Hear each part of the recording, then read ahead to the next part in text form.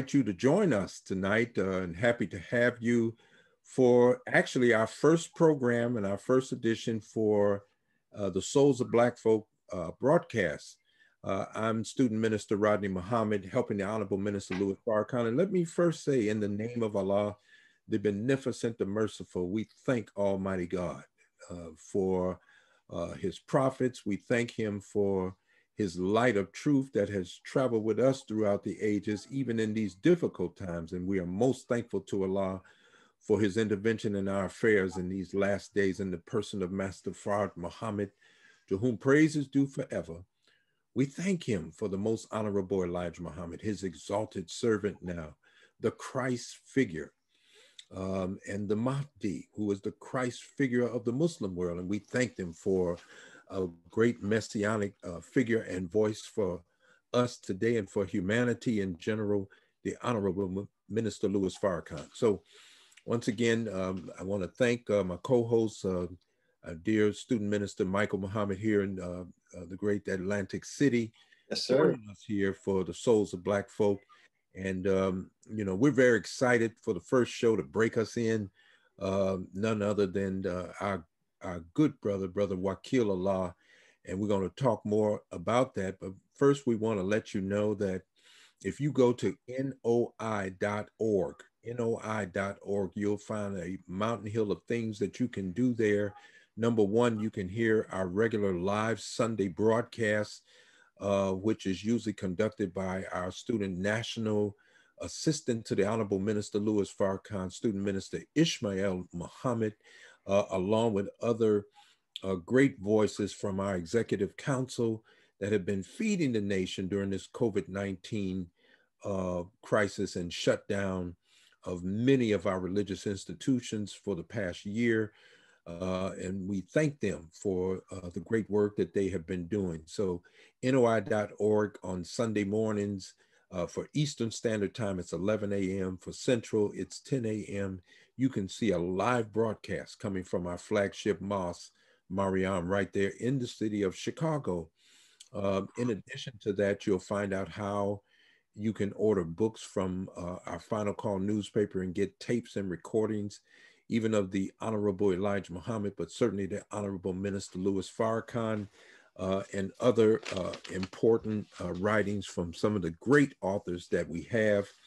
We also want to let you know about the Final Call newspaper, a great organ for truth. You can get that paper in your cities, wherever you are. Uh, but we also have digital subscriptions, in which case I'm one of those subscribers and I enjoy reading my Final Call weekly right from my own uh, laptop.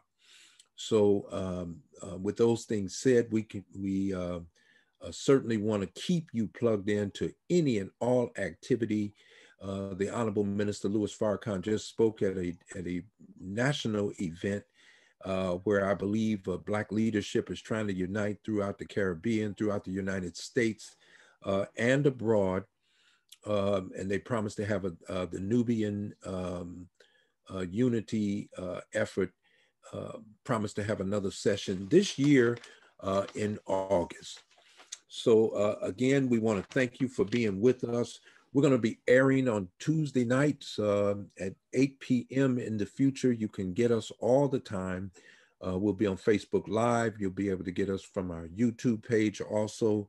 and so we are we are thankful for your presence to be with us. Tonight we have joining us a young man um, born not far from us. Uh, he grew up right there in Plainsfield, New Jersey. And at the high school level, as a young man, he joined uh, what is known as the 5% Nation. Uh, he went on to college at Morehouse uh, College there in Atlanta, Georgia. And of course, uh, there he was uh, very robust in recruiting people for the 5% Nation, even recruiting people for the Nation of Islam. He joined on with one of our own who is now uh, in the leadership position in the executive council, our own Dr. Wesley, and they formed an organization called the Allah Team. You know, and this is a grouping of educators, activists, uh, artists, um, cultural uh, influencers, uh, and all uh, just a very dynamic team that was traveling the country and doing things. Uh, but brother is also a Nation of Islam member under the leadership of the Honorable Minister Louis Farrakhan. Some of the books that he's authored, uh, you want to get it. It's exciting reading in the name of Allah, the history of Clarence 13X. And I believe there are two uh, releases on that book. He's also authored The Naked Truth, The History of the Nation of Islam, some fascinating interviews of early pioneers of the Nation of Islam. And he also authored uh, The Nation of Islam, Temple Number Seven, Harlem, USA, My Years with Malcolm and Farrakhan. So we want to welcome our own brother, Wakeel Allah, uh, to join us tonight. Uh, we're very excited uh, and we hope uh, that uh, we didn't disturb you, but we're so happy to have you tonight, Brother Wakeel Allah. Assalamu alaikum. Greetings to you and peace brother. So, wa alaikum salam. Peace be unto you, beloved brother, student minister Rodney Muhammad. Brother, you know, it's such an honor to be on your show, brother, and to be on your platform because, uh, like you said, growing up in Plainfield, we were really exposed to Islam, you know, in particular, the Nation of Islam, especially during the rebuild years when I was a youth. So, coming up as a youth, and being mentored by the different brothers and sisters in the community, one of the things that we were so young that we couldn't really go out. We didn't really venture out. You know, we were 12 and 13 years old. But we had access to the Final Call newspaper, dear brother, and to mentors that we would see in that paper, starting with Brother Honorable Minister Louis Farrakhan, you know, Brother Jabril Muhammad, you know, Minister Abdul Allah, you know, all these different powerful brothers. And then I had there in our city, our great brother, Minister Abdul Kareem Muhammad, you know, mm-hmm. in Plainfield, who I believe was the East Coast Regional Minister uh, right. when I was coming up during the rebuild. But That's I specifically right. remember you, dear brother, you know, specifically. oh, my goodness. You. And uh, I didn't know you personally, but I knew of you and I knew of all of the ministers in the Nation of Islam as yeah. if they were like the X-Men or the Avengers or superheroes to those of us that were young brothers, grooming to be young soldiers in the community. So it really is, for me, a lifelong commitment, right? Mm. And it is a great honor to be there or here with you, dear brother. You know, especially now as a student minister for the regional over the Delaware Valley region. Uh, DVR, as I understand. DVR, as they call it. That's right. Yes, sir. Praise be to Allah. They have a great, powerful history um, in dealing with the city of Philadelphia and your long tenure in that mosque. And beloved, you know, me and Brother Wesley, uh, of course, Brother Student Minister Michael, and many of the brothers on the Allah team, Brother Understanding Allah, you know, Brother Jay Electronica, Brother Malou Sadiq. Oh, yeah. We always viewed number 12 as like our home mosque, you mm. know, because you were so welcoming to us, you know, at a point in time when you really embraced us, even mm-hmm. before we became quote unquote official, you know, if you will. Um, so we were very thankful to you, brother, um, because you really threw us a lifeline to give us a platform to continue manifesting the teachings of the most honorable Elijah Muhammad, where we wanted really to manifest it most within the mosque of the Nation of Islam, because that is the man and woman manufacturing machine, right? Mm-hmm. How to create and how to produce gods. That's but as right. the Honorable Minister Louis Farrakhan teaches us, but we don't stay there, so we venture out. Mm-hmm. But we definitely yeah. need a base whenever we need to re-energize, we say, you know what? We need to go visit Philadelphia. You know, we would go visit Trenton. You know, Mosque number 44, brother student yeah. Minister Michael was there. Oh, yeah. Um, so in that Delaware Valley is very special, you know, to us, uh, the brothers and the sisters on the Allah team. And you, dear brother, you know, absolutely, you know, very special to myself and, you know, to my comrades for certainty. So this right here is such a great honor, beloved. So thank you for having me, you know, on this Brother, we thank you for coming. I appreciate those words. We, um, Yeah, we always loved it. I thank Allah for my secretary. He was so influential in doing that, uh, Brother Lance. And his wife had experience with the 5% Nation. And, you know, um, anytime we're building something else in our community, uh, you know, there's there's always uh, great um, support. And then there's always, you know, the controversial uh, aspect of things perhaps that people don't like. And I never forget something, you know, uh, Al Sharpton said that someone told him when he was young, he said, you know, life is like a, like a football game, you know, and you go and one half of the stadium is cheering you, the other half of the st- stadium is jeering you. and he said, so don't let the ones that are jeering you discourage you to the point that you stop moving down the field, but don't let the ones that are cheering you intoxicate you to the point that you forget that your object on the field is to get to the goal line. So mm. I really appreciate, you know, the work that the Allah team was doing in that. And I guess that that sort of goes into one of the books that you did in the name of Allah, because it seems like uh, Clarence 13 sort of started the same way with a broader outreach uh, that was still uh, seemingly a I mean, in the in the wording and the mission of the Honorable Elijah Muhammad, uh, wanting Malcolm and others to really reach uh, the young people, mm-hmm. and sometimes the model that we have um, may not be designed to really get right to them the way that I, when I read the book in the name of Allah, I mean, some of the methods that were used, we certainly weren't employing those methods but uh, uh, they were getting to, you know, getting to reach some of them. Mm-hmm. I wanted to ask um, uh, uh how you all have been faring during this this COVID nineteen period, brother Wakeel Allah. Mm-hmm. Um, well, beloved, you know, of course, following the instructions of the Honorable Minister Louis Farrakhan, mm-hmm. um, definitely quarantining, staying within the home, um, not being negligent in any of our dealings, um, only going out really when necessary, uh, cooking for ourselves, making sure making sure we are sanitizing our environments, and whenever we go, of course, you know we stay, we keep our mask on, and uh, you know it's very interesting that a lot of people may not even be really aware of how adamant the Nation of Islam is as it concerns health, and even right here in America, because when everything, when the pandemic first hit, it was right after our Savior's Day event, you know. Mm.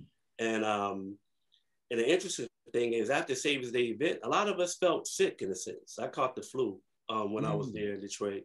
Brother Wesley had it worse than me, and um, and going to the doctors and everything, getting checked out and whatnot. And uh, then to hear the Honorable Minister Louis Farrakhan give the lecture for that particular Savior's Day, the unraveling of America. This mm-hmm. hit right before anyone really knew a pandemic was about to go down. So it just showed the prophetic sense, just as it says in the scriptures, that the coming of God will tell you what to eat. As the Honorable Elijah Muhammad manifested to us as the guide, he told us who would be the one that would guide us, meaning our brother Honorable Mr. Louis Farrakhan, where he says to go, go, what he says, stay away from, stay away from. Mm-hmm. And those of us who attempt to follow you know, that creed and follow that wisdom and guidance, you know, for the most part, will have a blanket of protection. And the blanket of protection that we have with us is really the power of Allah and just utilizing our scruples and our wisdom. So when he gave us that sound advice on the unraveling of a nation, and also said that this could also be applicable even to those of us within the nation of Islam. So just like a, you know, just like a watchman. You have to be on watch at all times. You know, you take yeah. charge of your post and all temporal property in view at all times. So really following his instruction and his guidance um, as one, you know, understanding the time mm-hmm. and what must be done.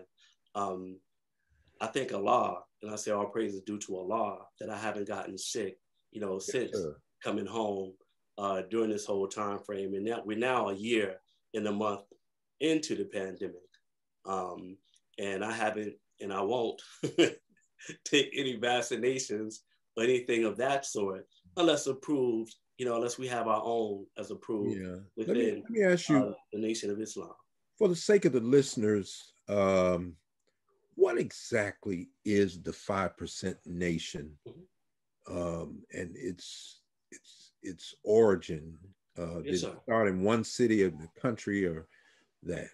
Right. Yes, sir. Well, the five percenters, as it was um, originally called, started in Harlem, New York, with a brother named well, brother named Clarence 13X, and this was in 1964. So he was a member of the Nation of Islam within the ranks from 1960 to 1964. So he soldiered under Brother Minister Malcolm X and Captain Yusuf Shah, First Officer Lieutenant Clarence 7X. He was married to a sister named Dora, Sister Dora 3X. Mm-hmm. So this brother was in the ranks for four years.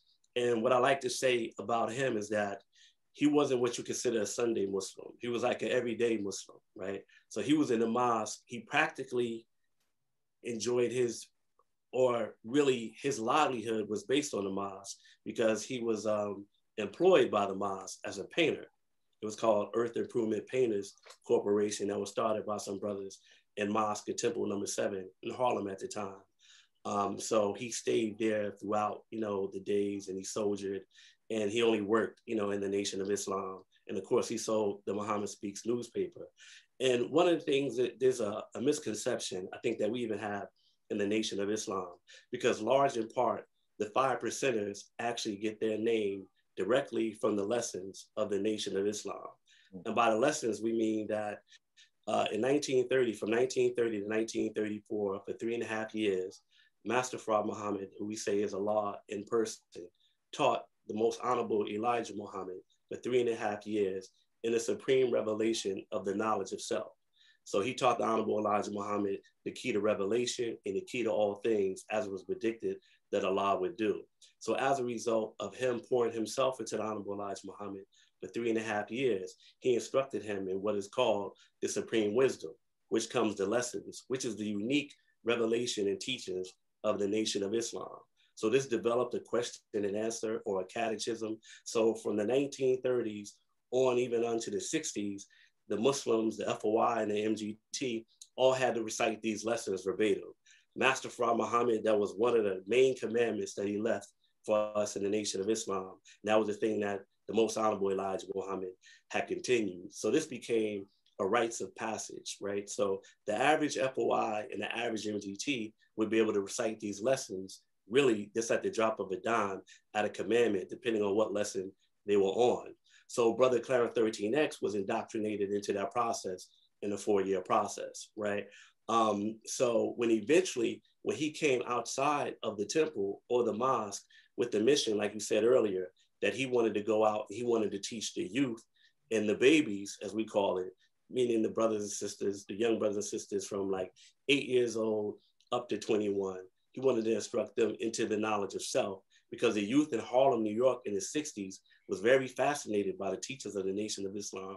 Because, like I was telling you, and me observing you through the final call and everything, that the young people saw Malcolm, they saw Captain Yusuf Shah, they saw Brother Minister Farrakhan, Brother Jeremiah Shabazz, Minister James Shabazz. So all of these local people and powerful ministers, brothers and sisters, was really like mentors to those out in the community. So Brother Clarence 13X, he just went one step further. Like you said, he had some unorthodox methodologies and get into the youth. Um, but one of the things that he did was he decided to share, you know, this, uh, which some would describe as a certain aspect of culture is a reciting of the lessons of Master Fard Muhammad and the most honorable Elijah Muhammad, which was a first. So he gave them the lessons and he taught them that the name of this movement was going to be the five percenters, which comes directly from a lesson given from Master Fard Muhammad and the most honorable Elijah Muhammad. And the lesson says, who is the 5% of this poor part of the planet Earth? That's Master Fard Muhammad asking the question.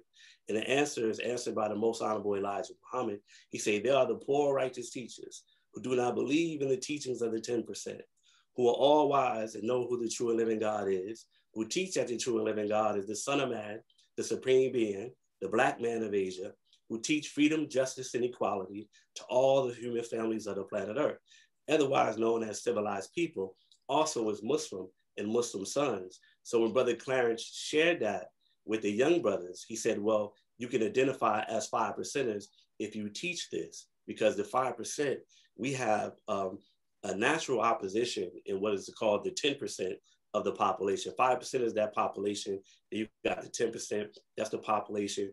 They know the truth, yet they hide the truth, they conceal it, and they utilize the truth to exploit the masses of the people. And the number one exploitation or the number one misdirection that they have is the identity of God, where they keep the identity of God and preach that God is a mystery, something that you can't see, something that you cannot even attain to. So they take this knowledge, so called knowledge, a trick knowledge, and they use it to exploit the masses. And the masses are the 85% of the people. And those are the people, they're not necessarily rooted in a particular culture, except that which the 10%ers have taught them about. So they're exploited, mm-hmm. they're eating the wrong foods, got the wrong diet.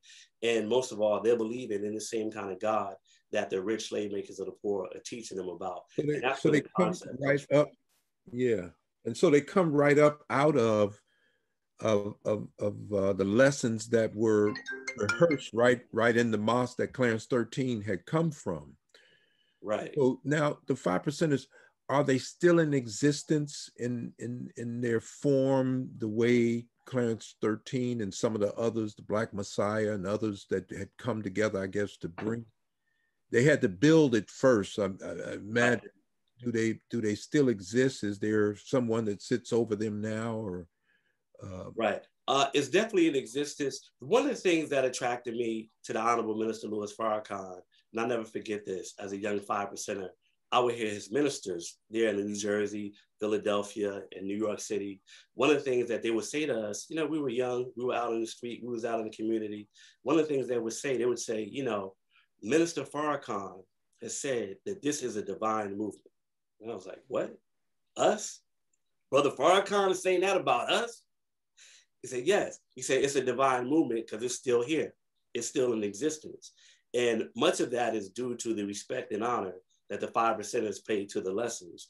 Now, the way Brother Clarence did it when he came out in the community, he didn't necessarily make a bona fide organization, if you mm-hmm. will. It was somewhat loose knit. It's what we like to describe as a culture, as a way of life. So the ritual was the same ritual that they taught in FOI and MGT class, was the foundation of the lessons, our recitation of the lessons, just like any fraternal or sorority aspect. You know, mm-hmm. these are different challenges that you have. How do you see today's mathematics? You ask an answer, they expected, well, you ask the question, they expected a certain answer. So when the brother started the movement, if you will, in New York City, they said it was the largest youth movement, only rivaled by the Boy Scouts of America. So this is a movement prevalent in Harlem, which became Mecca, Brooklyn, which came, became Medina, Queens, which became the desert, and the Bronx, which became uh, Patmos or Pelan. And these are all jargon and language that's come from the Nation of Islam that was adopted by the five percenters. So the movement was there, it was solid, especially when the Nation of Islam went through what they call a transition.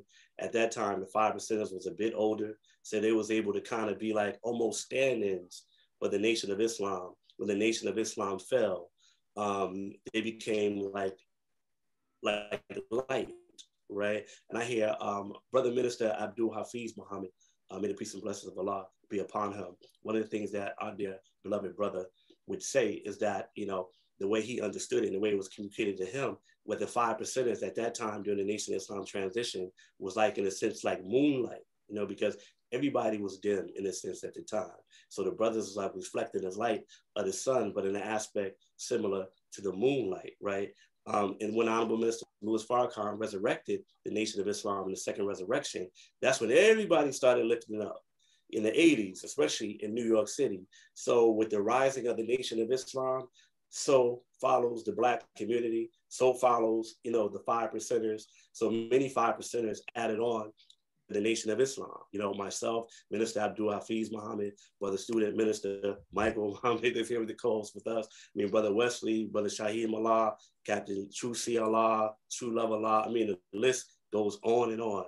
Uh, just like the Honorable Minister Louis Farrakhan taught, and just like Brother Clarence 13X taught, at one point in time, there would be many five percenters that would come and offer um, a service to the Nation of Islam and join on to our own which by the way, he taught we were five percenters, but he said we were the five percenters of the nation of Islam. because the same way we learned the lessons out in the community, in the street, even though you wasn't a registered Muslim, you were still considered a Muslim by nature, you know, because you was born Muslim. So with the advent of hip hop coming in the 80s, in the 90s, that's when Eric B and Rakim, the world. I was going to ask you about that. So they they they were tied.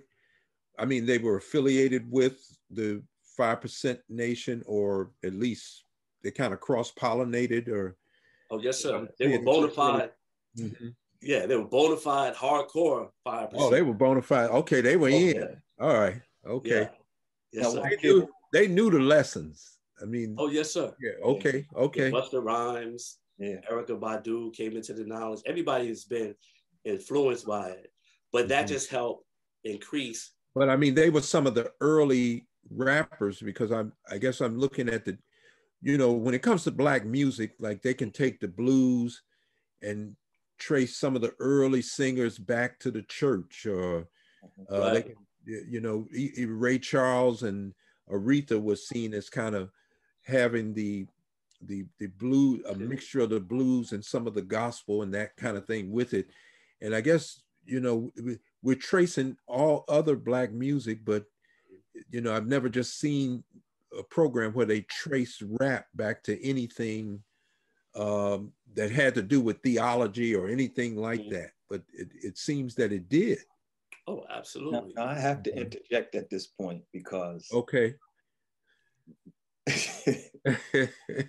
Wakeel, brother minister, I've been talking to Wakeel for the past three years about writing this book, brother. Uh-huh. Writing this book about this very conversation and the influences of Islam, and particularly the Nation of Islam and the 5% oh, Nation absolutely. on hip hop. And uh, going all the way back to Cold Crush, Born Law, and Cold Crush, Supreme Team. And we can go get real deep into the influences mm-hmm. of that. Um, but Wakeel, what was it specifically that attracted you to the knowledge of self as a young five percenter coming into the five percent? Me, particularly, when I heard the black man was God, it was mm-hmm. automatically an attraction. But what was it to you that attracted you to the 5% as a young 13, 14 year old?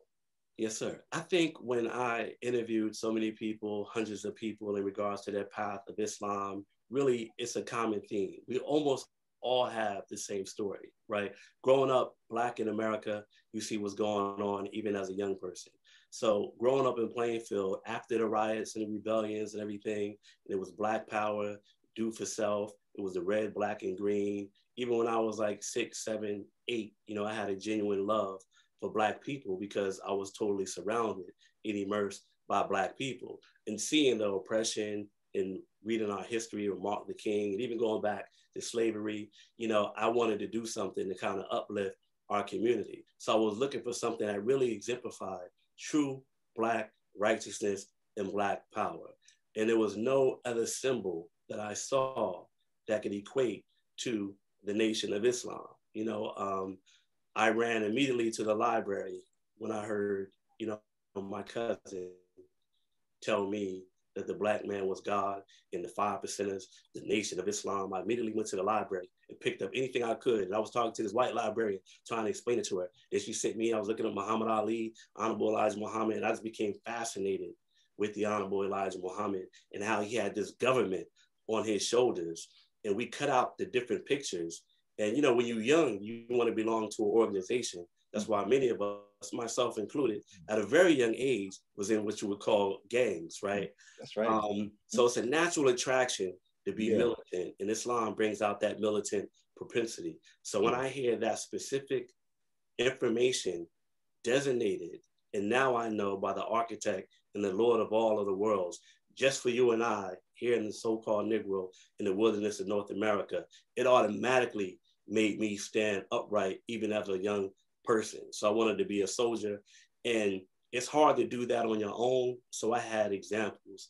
And like I said, when I saw Brother Farrakhan, that was it for me. You know what I mean? I was like, yo, this is like Superman coming. You know what I mean? Like this, this is this is the one mm-hmm. because I saw him walking down East Second Street in Plainfield, and it had this big poster and it was the Let Us Unite poster, I think, and it had him like with stars and with the blue uh, suit on, and this brother had the waves, and I was like, oh man, you know, I want to be like that, right? So that's what attracted us to it, and it gave us a bond because we went from a gang lifestyle, you know, when we was kind of fighting one another, mm chucks, knives, you know, you name it, we was bringing it. But Islam, just like hip hop did, it kind of brought us all together. So I saw that brotherhood. And when I was a young brother, I was like stingy. I was like a stingy person because, you know, when you have something in the community, right, you try to protect it because people are trying to rob you and this and that. So you even hide things sometimes, right? you put money in your sock, you know, you just equipped coming up in the hood of the street. And, um, but the first thing that the brothers of the five percenters taught me was freedom, justice, and equality. Like I said in the lesson, who was the five percent? And I just remember going to White Castle and we got the number six. And the brother explained to me that the number six represent equality and that he was going to share his meal with me, you know, and because I didn't have any money. And that brother became my enlightener. He became my teacher because he demonstrated a certain aspect of brotherhood mm-hmm. that, again, that I wasn't really necessarily accustomed to. And he attributed that to the teachings, you know, Islam mm-hmm. or the lessons. So that's what really mm-hmm. attracted me. I can't say really attracted me because, brother, this day, I still got the gleam in my eye for the knowledge. so I still feel like the same person um, yeah. every time did the knowledge know. Um, did you know, because growing up in the Midwest, of course, when we came in, we I had never really heard of the five percenters. I guess it was a East Coast thing, but by being in the nation early after the first Savior's Day in 1981, then I joined right after in, in 1982, I think I met Dr. I met Dr. Alim before the minister named him Alim. Mm-hmm. But there was a brother called, he came to Chicago with him. He, he was called True Mathematics. Yes, and sir. he was with them in Washington, D.C. So I said, What kind of name is that? You know, True Mathematics. I said, Man, we done we done gone off the deep end or something here. We done changed the name to but I didn't know about the five percent nation and how how they named each other. And of course, in, in number twelve, we ended up with people with uh, there was Born Righteous was with us, and mm-hmm. you know Jay Electronica, and uh, they would uh, brother. Um, oh God, understanding, understanding, uh, yeah, understanding. Yeah, yeah. With the other brother that was with us, his name escapes me now, having a moment. But I, it, oh, Ali. back to me. Uh, no, it was true. It was born righteous, but there was another brother with us. He used to go back and forth from number 12 to New York. That's understand. All the time. You'll probably understand. Justice, or uh, his name will come to me. Okay, but anyway, um, you know, so we we just didn't know about like the five percent nation, but some of the accounts in your book, some people had said that like if somebody couldn't recite the lessons, uh, they might have um, been roughed up or something mm-hmm. physically. Mm-hmm. I don't know if that was the case, but you can always get extreme people. Was that something that Clarence 13 would condone, or is that did was he that extreme? Oh no, absolutely not. Uh, that's not anything that he would condone. You know, the, the one thing that he was always very mindful of, knowing that he was in constant danger, he never mm-hmm. wanted to put children in danger. So whenever he had any kind of altercations, you know, with the authorities, which at the time was dealing with counterintelligence program by J. Edgar Hoover, he always was mindful to try to keep them out of harm's way. And he's on record in stating that, you know, to the authorities. So he never, you know, he never advocated anyone hurting each other. He had the same law, like you said, you know, because he was an FOI. So he mm-hmm. brought the same laws from the temple out on the street. And yeah, Brother Minister Farrakhan say, you know, one time when he was in the FOI class and how he was just jokingly, you know, joking with another FOI and he put his hands up. Then Captain Yusuf Shah said to him, he said, okay, when you put your hands up, you would have to beat everybody in here. Everybody in that, here. Yeah. And that was the way Brother Clarence 13X was with it. Okay, if you raise your hand up, then you got to fight everybody that's here. So that, that, was one of the preventive ways. Now, now, there was controversy in your book around him being shot, I believe, in 1964 but from what I could hear after moving to the East Coast, there seemed to be controversy around either not so much how he died, but um, the reasons are surrounding it and everything. So, mm-hmm. what did they ever just did anybody ever come and just clear the record on both of those things 1964 and 1969 the attacks on clarence 13 yes well the first time in 1964 when he was shot you know he was shot in the basement on 127th street there in harlem and that pretty much was because of the environment that he was in there was an altercation that another brother that was in the temple would have had, Brother John 37X, aka Abu Shahid, and he had a discrepancy with a group of brothers. And um, Brother Clarence came to try to make peace in that accord. But, you know, the brother just took out a sawed off shotgun and boom, and shot him point blank. And that was the first time, you know, that when he was shot, that's how that happened. Really, that was just a discrepancy that was out in the community, out in the street, him coming to the aid of his brother. Um, in 1969 is when he was assassinated, June 13th of 1969, in uh, Foster Projects, known as MLK Projects on 112th Street in Harlem. He was going to see his family, of course, and his family, again, Sister Dora 3X Smith, and um, he had his daughters, Christine and Deborah.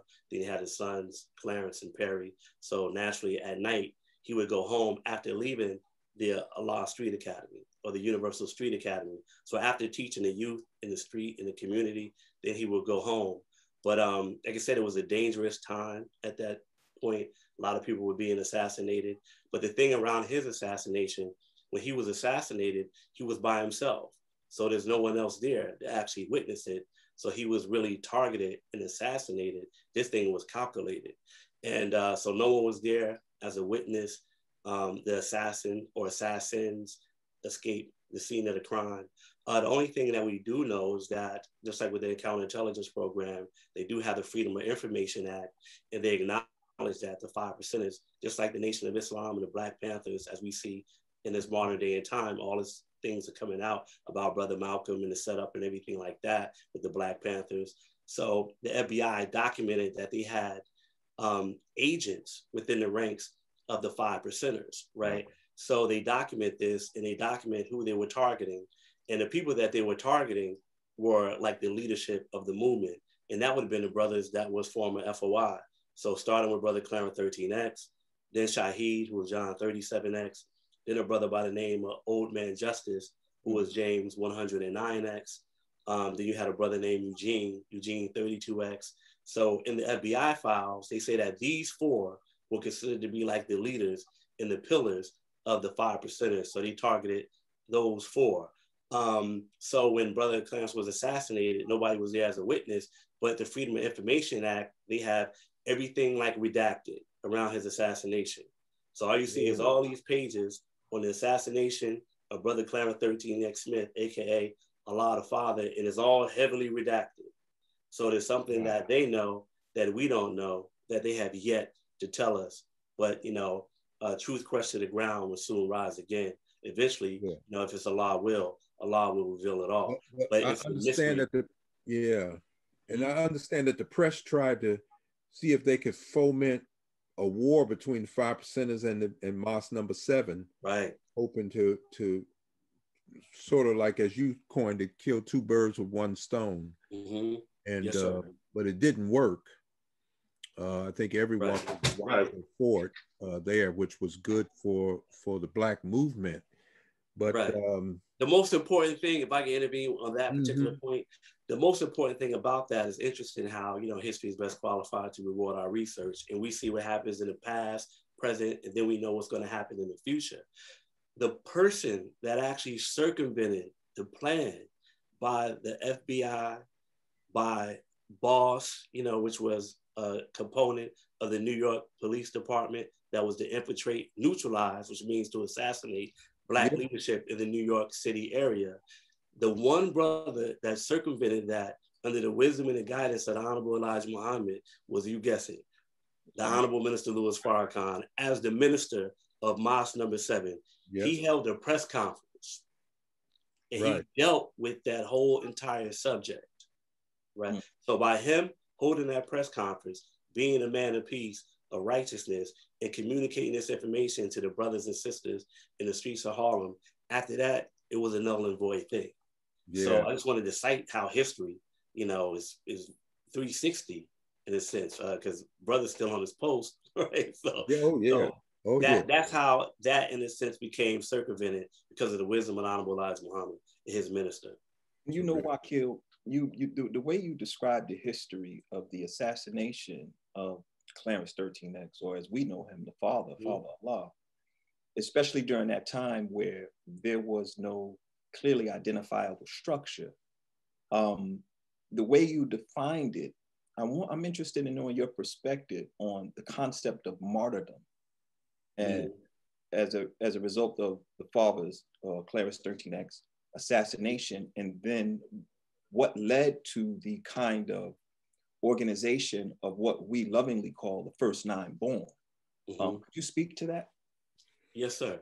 One of the things that I learned as a young five percenter when I got access to Brother Minister Abdul Kareem Muhammad's lessons, um, I read the history of Esau, the history of Jesus, the true history of Esau, uh, the true history of Jesus as written by Allah and the person of Master Fard Muhammad. And the one thing that stood out to me when he spoke about this great prophetic figure, Jesus, that many of us, especially as Muslims, know and love, he said that Jesus offered up his life. Jesus gave his life. So Jesus paid the highest sacrifice that anybody could ask of an individual, meaning that he gave up his life.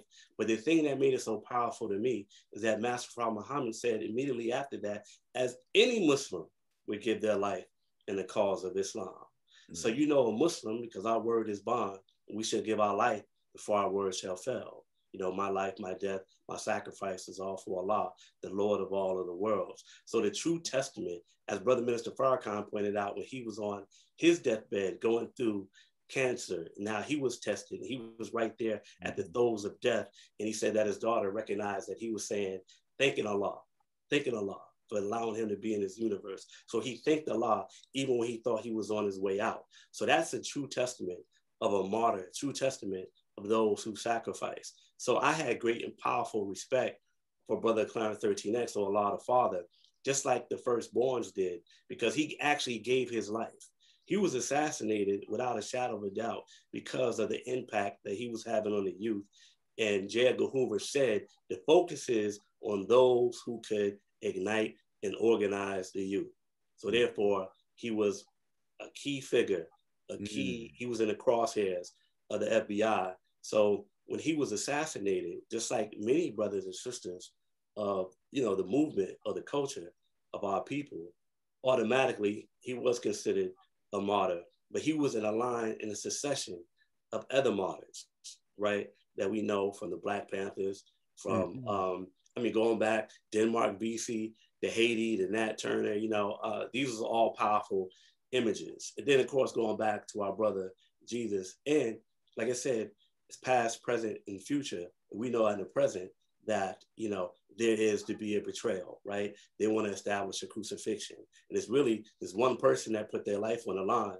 And if you see 1995, the Million Man March, two million men showed up, mm-hmm. not knowing what was going to transpire, not knowing what was going to go down.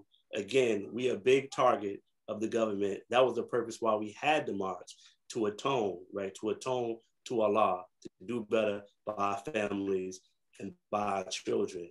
And the brother that guided us, you know, Brother Minister Farrakhan, I see him, you know, as a Muslim, just like in the lesson how Esau, how Jesus was, Master Prophet Muhammad, how we are to be as brothers and sisters to one another. So when you're willing to give your life, just like it says brother student minister Michael Muhammad, you know, Malik, you know the scriptures very powerfully, brother. Your exegesis of the scriptures, good God, is extremely impressive. But those willing to give their lives, you know, will save their own lives. You know, those who are afraid, maybe in a sense, end up foolishly, you know, sacrificing their life. So martyrdom is something that I think that uh, we don't necessarily strive to die. You know, we strive to live. That's why we say Allah is a true and living God and Allah cannot die. And one of the great concepts of martyrdom is that if you do fall within the process, you know, as far as expiring physically due to whether it's an assassin, whether you are a martyr in the cause, um, you will live forever in that regard, eternally within your people, in the spirit of your people. That's another thing that Master Muhammad pointed out that stuck with me too. Jesus knew, he said that if he were to give his life, that he would have, in a sense, eternal life because he would be forever remembered. So he would always be a constant example. And for him just to know that he was still inspired after the grave, he gave his life to the two soldiers, right, that assassinated him. Um, so that's how I see yeah. martyrdom. But I would think and hopefully strive to think that just as Jesus did, that any Muslim would be willing to give their life for the sake and the cause of Allah. And you know, Minister Farrakhan just said that uh, anyone that, that dies in a plague or a pandemic uh, is a martyr. And he mentioned that uh, at the death of our dear brother uh, Abdul Hafiz uh, Muhammad. Well, with some of the time we have left, I, I want to, you know, one of the questions that's been getting me, you did this history of the nation of Islam. Yeah. How did you find these people that go way back to the 30s, man? I mean, you talked to some people that were there with the Savior. Uh, well, yes, sir. Well, what happened in that regard, again, uh, the Honorable Elijah Muhammad, a lot of people attribute uh, that quote to Minister Malcolm X. You know, history is best qualified to reward our research and is the most attractive. Mm-hmm. But really, of course, that comes from Master Fard Muhammad and the most honorable Elijah Muhammad. So I can't necessarily take credit for that because throughout the annals of time and the Nation of Islam, they would document this history in one of the greatest newspapers that the world has ever seen, in the Muhammad Speaks newspaper. So I, just like my brothers and sisters, part of the research team, uh, they do an excellent job. I do an excellent job as far as trying to go out and being passionate about the history. So a lot of times I sacrifice whatever and I'll just stay up night and day, going into the archives, retrieving this information, you know, typing out this information, uh, vetting their information, going to different newspapers, traveling to different institutions, you know, colleges, etc., uh, museums, all to extract this information because the information is out there. It's just a matter of us uncovering it. Mm-hmm. So the majority of information that I have, as far as that book, The History of the Nation of Islam, the pioneer years, which goes from 1930 to 1950, those pioneers had passed on before I even had the thought. Okay. But, again, you, you. I mean, to read it, mm-hmm. it sounds like you're there interviewing them. I said, how did he find these people? you know, there was a sister named Sister Seal, she lived in Des Moines, Iowa. Right. She's just passed on, but she used to just tell us some fantastic things about back then sitting in the temple as a young girl mm-hmm. when Master Fard Muhammad was teaching and uh, just the way that we were uh, back then. And then, of course, there's Sister Medina, mm-hmm. whose mother is Sister Burnsteen. She was the secretary for Master Fard Muhammad and became the first uh, captain of known captain of the MGT uh, in the nation, and she has a lot of material too. But I didn't know you had researched it. That is incredible, brother. Yeah, uh, the way that book is put Medina. together, I, I yeah. I'm picturing you there, finding these people on the streets of Detroit, and I said, you know, I didn't even know some of these people were still around, but uh, that that helps me that you uh, to know that you secured some of those testimonies. Mm-hmm. So how did the testimonies even how did how did they even get I mean somebody must must have questioned them or something to get the testimonies the way you mm-hmm. you got them and put them in the book.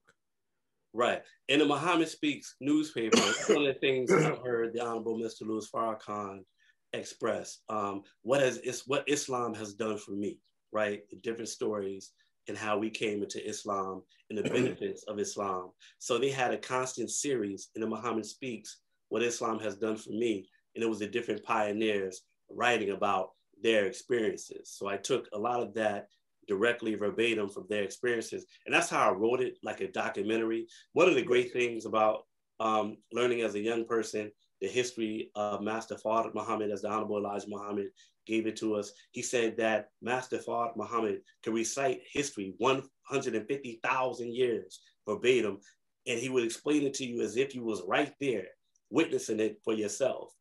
And when you hear like in the black community uh, and throughout the diaspora, like we have uh, griots, right? A griot, some people would say.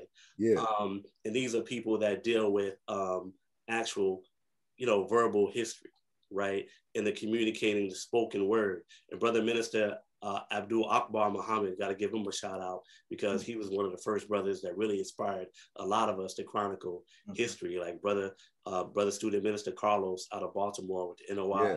Archives, brother Ali out of Detroit. Like you said, uh, my sister, and I love my sister so much, the great sister Medina and her family, the family of brother Supreme Minister John Muhammad, the brother of the most honorable Elijah Muhammad. So in a way that when you're dealing with the spoken word or the history or the uh, you know the verbal history is being shared by those in the community, you really get the pulse and the heartbeat and the rhythm. You know what I mean? So you get the soulful aspect of it, and so you really think that you were really there because the people that were telling you um, and the energy coming out of the pages you know, you could feel the energy and spirit. Like you said, you could feel yeah. the vibe, and how they're communicating, right? and they're telling you firsthand accounts and that they were there. So I always express it uh, in the Nation of Islam. And I'm thankful for brother, student minister Michael Muhammad, because he's like the number one brother. Him and brother Abdul, student minister Abdul Muhammad out of Chicago. And of course, my brother, student minister West Dr. Wesley, um, have always been great advocates for the history and even inspiring me to say, you know, hey, you know what, brothers and sisters, you probably should check this book out if you want to learn about you know, some of the early history because in our lessons, in the original instructions to the laborers, it says that we will be tested on the three and a half year history, mm-hmm. right? So mm-hmm. um, I like to go back in time and see these things from this great, powerful. I mean, this should be a movie about it. This should be a documentary in the sense that we produce, and they did produce a documentary in the Nation of Islam, I believe was in 1975, chronicling the early years mm-hmm. of the Nation of Islam. So I really use that, utilize that as a reference. See is that in existence now? That documentary? That, yes, that sir. documentary yes, sir. It is. Mm-hmm. now? Yes, sir. It's uh, on YouTube. It's on YouTube. Yes, sir. Now. On YouTube, uh, those early years. Wow, that is mm-hmm. really something. So, so with all of that research and everything, I mean, you, you, you obviously there, there's groups of you emerging that just are mm-hmm. grabbing large slices of this great history uh, of our 90 years or more uh, mm-hmm. being up uh, in uh, America, um, you know, and it, it does seem like it needs to get wrapped up in some kind of big documentary, you know, maybe with all of you you speaking of something on aspects of what you have brought so that this thing can be put together in a way uh, because I'm sure our enemies uh, and hosts that the Quran promised us who sit and watch us from a place that we know not, I'm sure they're putting together their own documentary for their own spin. Right. Uh, and it made me, I thought about it when I saw this recent um, event there at the Capitol building and the young brother charging the car into the Capitol police. Mm-hmm. And it took my mind back after they went to his Facebook page to try to tie him with the Nation of Islam. And of course, the spin that they wanted was that somehow our teaching mm-hmm. uh, would be something that would lead somebody to do something like this. And obviously, it's just the opposite. Right. Uh, but um, th- in the early years, I still have some writings of some people who were, they had come to the temple, but they sort of left. I think his name was Robert Harris, and he ended up doing something drastic there in the 30s in mm-hmm. Detroit. Mm-hmm. So it made me think, well, God, if they put all that together, they could produce a horror story mm-hmm. about us out of it with their own spin. Mm-hmm. Uh, but uh, if we had something that really put the proper light or put these all these events in the proper light as we bring the Nation of Islam's history to some larger documentary. They they have a they have a documentary that my wife and I had secured at one time called From Montgomery to Selma. Mm-hmm. And it covers the career of Dr. King, the nonviolent direct action movement, all the way from Rosa Parks uh, refusing to give up that seat uh, to Martin Luther King being assassinated in Memphis, Tennessee. Um, but it covers so much of the history um, that you get a you get a fuller picture of right. Dr. King and those those lieutenants that work close with him. And so I'm just thinking about something like that that just puts everything together, um, and it it doesn't leave a lot of room for people to plant distortions absolutely of the nation and especially events that have taken place. But uh, man, that is so terrific. I mean, you've been busy since Morehouse College. Uh, did you major in research or something like that? Or I didn't even um, ask you what you majored in there. No, sir. Actually, I had majored in business. Um, oh, yes, sir. uh, but my major is really, I guess, you really know what you really want to do when you love what you do, right? And you're willing to do it without getting paid for it. Not only not getting paid for it, but really sacrificing in the process. So, uh-huh. um, so I just always loved Islam and the Nation of Islam, and um, as I got inspired in high school, then when I got to Morehouse College, I kind of hit the ground running. And uh, first brother that I met, you know, uh, believe it or not, and I was getting mentored by was brother Dr. Khalid Abdul Muhammad. so, okay. Yeah. So I pop yeah. up on campus and hey, I'm there running my mouth on Morehouse. I'm trying to teach everybody Islam, right? Because uh-huh. it was a lot, it was virgin territory in a sense as that went. Because I was like one of the only brothers there um, that was dealing, you know, with Islam or the five percenters, what have you, you know, at that time. Mm-hmm. And uh, so from the first day that I got there, I, in a sense, was deputized to spread and teach Islam. And so we were blessed to raise up many there. Then others came to start going to Morehouse College.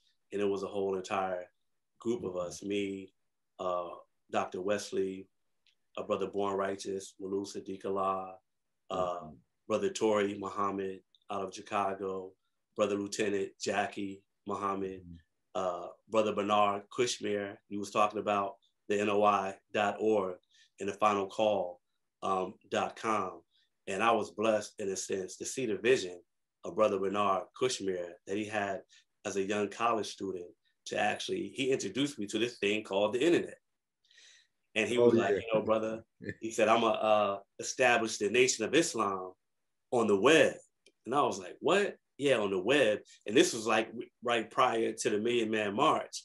So he every time I would go over to his house, that he, what he was doing on the computer, creating a website and everything like that. And he started the NOI.org and then the finalcall.com. But these were just different brothers, you know, and sisters that was there prevalent with us on the AU Center, Morehouse, Spelman, uh, Clark, Atlanta, okay. and uh, Morris Brown college. So yeah. we were very adamant and very enthusiastic about spreading the teachings of the Nation of Islam.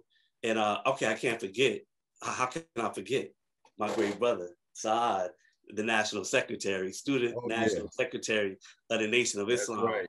So we were all there together, bonded, you know, as brothers. We got some great war stories we could talk about being, being on campus and having to deal with the administration.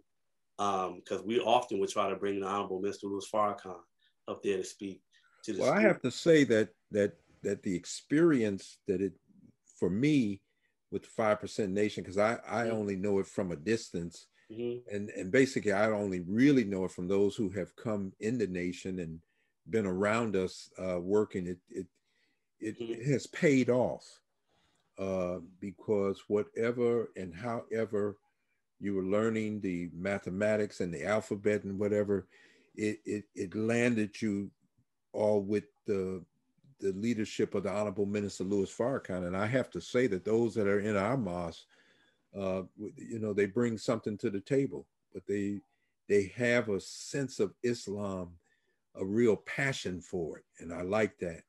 And that was, uh, that was one of the things that I saw. What you know, our time is running out now, but man, we've got to have a part two to this show. We want to ask you to come back. You know why? Because I'm so interested in us getting into rap. You know, when rock and roll came out, there was some resistance to the prior generations uh, in that. Um, but um, when rap came out, it was so misunderstood by generations preceding those that were rapping and that mm-hmm. and then when it took a turn and it seemed to become more toxic, you know, people tend to kind of broad uh, brush paint the narrative that rap was mm-hmm. toxic from the beginning, and I don't believe that it was. Uh, and really having a discussion about it, and I'd like to bring on, you know, some people that with you that, you know, really know about real rap and what happened to it. Uh, but I think we need a real discussion on that because it's not going anywhere. Uh, but you know, what do we do with it now? You know that it's here, and and the toxic form, you know that it's in because some. I'm a baby boomer, so we grew up on the streets south side of Chicago. We we learned about love songs, and then you had James Brown and all of this. But um, you know, the, there was no song. Nobody was making a song about really hurting somebody else. And I'm understanding that some of the rap now, the lyrics that are being planted in in some of the communication in that, uh, you know, it's it's being cited as playing a role in a lot of the carnage that's going on in the black community in that. But I think it begs for a good discussion to get to the root of the problem, as we're always taught to try, let's try to get to the root of things and so we know that the enemy has really corrupted us in that in that area. So, Brother Michael, did you have any other things? Uh, I want to ask uh, if he had any closing remarks. Yeah, but before you uh, uh, say your closing remarks, Wakeel, I, I do have a very important question, and I'm certain everyone else would like to know. Uh, what is in the works? Can we expect another book? Uh, Oh, brother, you know, there's a lot I would say that's in the works. There's something constant, you know, every day there's something constant always on my mind. And primarily it's dealing with chronicling the history, you know, those of us in the Nation of Islam, those of us in the Black community. So there's various different projects that I could really kind of go into, but for sake of not knowing which one that I'm really going to go with at this point. But I would say it's definitely going to be something around uh, just what brother uh, Minister Rodney Muhammad was just speaking on as relates to you know our community and impacting some of the different people in our community that have been influenced and that are influencers. Because I will say this to what you said earlier, Brother Michael, that um, in speaking of this culture as relates to hip hop, and one, um, and I've gone around different personalities, and not even I don't even want to even talk about some of those that we know that are already rooted in the teachings and have some of the wisdom and have a fascination and enthusiasm around it. But I've been around some of these mumble rappers, uh, some of the people that you might be referring to that have a mm-hmm. certain message that may not be the best of messages. But the most interesting thing as you see the Honorable Minister Louis Farrakhan travel throughout the land, you see these rappers gravitate toward him. So even mm-hmm. those in the drill rap, some of the people right. that you would never think would come in respect and treasure Brother Minister Farrakhan, they're right there. Their attention, their eyes are wide open, their ears are wide open. And when those of us that go amongst them as representatives of the Nation of Islam, I've never met with any resistance. I mean, only magnetic attraction mm-hmm. from some of these brothers and sisters that have these different messages. So I say all that to say that I think, um, you know, big fields await the wide awake man and woman, you know, to work out in. So as we work, as the brother minister instructs us mm-hmm. to go out into the community, um, as we work in our different communities, I think Allah is going to bless us to attract our people and put them on the right path. Because, like I said, we all got the same story. We right. all started, in a sense, down and dirty. As Brother Minister Farrakhan says, he says it's like the water coming up out of the lake or the river. The water is, in a sense, down there in the lake and it's mixing with the mud.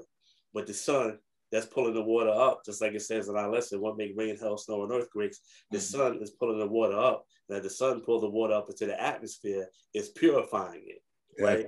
So the sun and our universal flag or the national flag, the sun, moon, and stars, the sun represents freedom, right? It represents truth. It represents the light. So when we shine that light and we bring that water up, you know, which is the people, the people mm-hmm. start getting purified, purified, purified. Right. So water is symbolic to wisdom. Now we got purification. So really, all I see is potential. You know, when I see what we consider 85% what the mm-hmm. law found, I mean, all I see is, as we've been instructed to see, is the potential. And we go and we put Allah first and his wisdom and his guidance, mm-hmm. you know, Allah will bless us to success. But whatever will happen, Allah will be, Allah will will be done as long as we are Muslims lining up our will to submit to do the will of Allah. So I'm always inspired, brother mm-hmm. student minister Rodney Muhammad, like I said, by yourself, my brother student minister Michael Muhammad. Uh, they're in the study group in Atlantic City. You know, Mosque number 10 has a lot of powerful history. Oh, yeah. The minister, yeah, brother minister Robert Wilmington, mm-hmm. Delaware. That that's like 35 and number 12 is like, you know, mm-hmm. our homes, you know, like the brothers yeah. that in the Nation Islam that identify as part of the Allah team. I mean, we just love, we just love that area, the camaraderie, you know. We love um, you. Yeah, we love you too. And I, you know, we're, we're we are out of time, but I, I want to get your promise that you'll come back so we can d- take a deeper dive into some of the things that we were wrapping up because you you ended it on a beautiful note. Mm-hmm. Yes, sir. That that no matter what's out there, we have what we have what it takes to make it right now. Right. Yes, sir. Uh, and um, to draw on the good nature of, of of God that's already in our people. Um, that's that's the real assignment. Praise be to Allah. Yeah. So but we thank you so much for being with us. Want to thank you, Brother Michael, and thank your lovely wife for uh, engineering all this for us here. This has been another edition um, of our uh, newly found show, the Souls of Black Folk broadcast. And we want to have you back, Brother Wakeel Allah. Thank you so much. Yes, sir. Thank you, beloved family. All right. Thanks, Assalamu alaikum. Wa alaikum salam. Right.